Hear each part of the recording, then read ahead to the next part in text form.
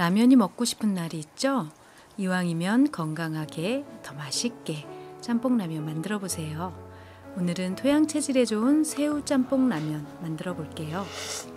새우와 야채로 국물을 내고 우리밀 라면으로 건강도 챙겨 볼게요.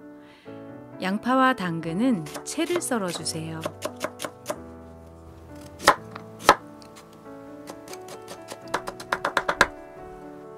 나머지 재료는 조금 큼직하게 썰어 주시면 씹는 맛도 있고 먹음직스러워요.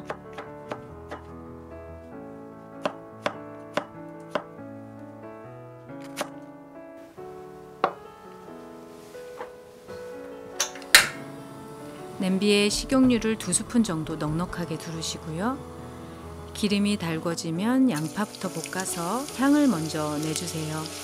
짬뽕라면은 마늘은 생략할게요. 마늘을 넣으면 우리가 익숙한 그 짬뽕 맛에서 멀어지거든요. 당근도 넣어서 볶다가 새우도 넣어서 같이 볶아주세요. 새우가 어느 정도 익으면 나머지 야채도 넣어서 볶아줍니다. 단단한 재료부터 넣기 시작해서 가장 연한 재료로 마무리한다고 생각하시면 돼요. 야채의 숨이 살짝 죽으면 진간장 한 스푼 넣어서 10초 정도 볶다가 고춧가루도 한 스푼 넣어서 10초 정도만 볶고 얼른 물을 넣어주세요. 이때 절대 타면 안 되거든요. 물은 보통 라면 끓일 때보다 좀 많은 양, 한 600ml 정도 냉면기 하나 정도 넣어주시면 됩니다. 물이 끓기 시작하면 라면 스프부터 먼저 넣어주시고요. 라면이 70% 정도 익었을 때 불을 꺼주시면 남은 열로 라면이 더 익을 거예요. 그래야 라면이 퍼지지 않고 맛있어요. 이제 그릇에 담아 볼게요.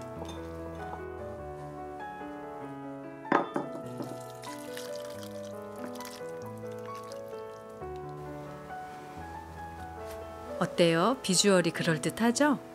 한번 먹어볼게요. 매콤하고 맛있는 짬뽕 맛이 나요. 감칠맛 나고 맛있어요. 새우살과 야채와 면이 잘 어울리고요. 별미네요. 금체질은 밀 라면 말고 쌀로 된 라면으로 이렇게 끓여 드시면 좋아요. 한국 사람은 가끔 라면이 먹고 싶잖아요. 금음 체질은 가끔 매운 것을 먹어도 되지만 금양 체질과 토 체질은 매운 고춧가루가 좋지 않으니 빼고 드시면 좋을 것 같아요. 토체질은 새우 대신에 굴이나 돼지고기를 볶다가 끓여도 맛있어요. 목체질과 수체질은 체질에 맞는 육고기와 야채를 다양하게 넣어서 오늘처럼 짬뽕 라면을 끓여서 드셔보세요. 별미예요.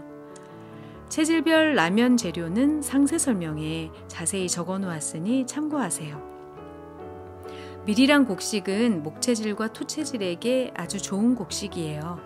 수체질도 가끔씩 먹을 수 있고요. 다만 더 건강하게 드시려면 방부제나 표백제 같은 첨가물이 들어가지 않은 우리밀 라면으로 조금만 신경 써서 드시면 좋아요. 확실히 소화도 잘 되고 장에도 부담이 없어요.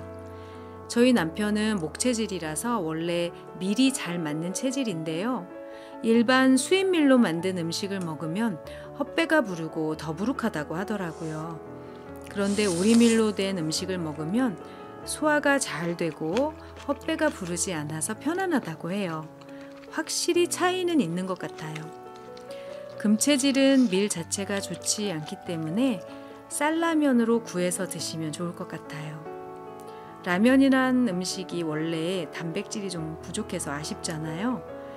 그런데 오늘처럼 체질에 맞는 재료, 집에 남은 재료를 활용해서 짬뽕 라면을 끓여 드시면 단백질과 미네랄, 식이섬유가 풍부한 영양 만점의 라면 요리 맛있게 드실 수 있어요. 라면도 체질에 맞게 챙겨 드시면 몸에 좋은 음식이 될 수 있어요. 영상이 도움이 되셨다면 구독과 좋아요 부탁드려요.